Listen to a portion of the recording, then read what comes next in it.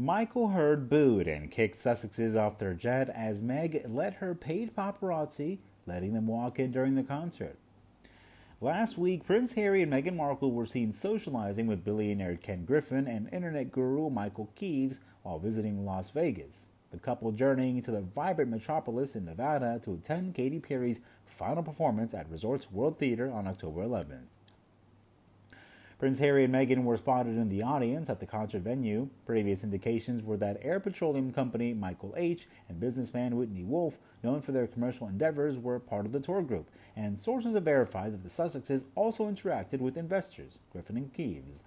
During a trip to Las Vegas, Griffin, a famous player in the financial industry, was placed next to Prince Harry at the founding concert of hedge fund company Citadel. He's said to own a fortune of more than $34 billion, according to Forbes. However, he is also observed sitting behind Prince Harry and Meghan during the concert. He's affiliated with the financial company K5 Global. His professional experience includes talent representation, specifically working with creative artist agency CA, formerly known as a different name. While there, he managed clients such as singer songwriter Katy Perry, the Sussexes, and the Herd family, receiving invitations to Katy Perry's concerts through mutual acquaintances, and of course, Griffin's accompanying them to the occasion. According to a source, Kipps is a prominent influencer, and this meeting clearly demonstrates Prince Harry and Meghan's growing network. The source also questioned the nature of the conversations between Prince Harry and Griffin, implying that the conversations may have focused on issues related to power and wealth. Michael Herd, wife of Whitney Wolfe Herd, arranged a private plane to fly them to Katy Perry's event. The jet is also used by famous individuals such as Cameron Diaz and her wife, or rather husband, Benji Madden, and actress Zoe Saldana.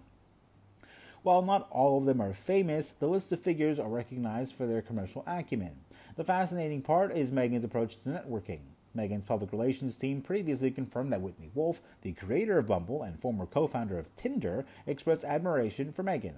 This leads to speculation about Megan's efforts to form new social connections. The crisis intensified when photos of Megan and the group were made public, which depicted Megan's public relations team as being in a close relationship with Whitney Wolfe.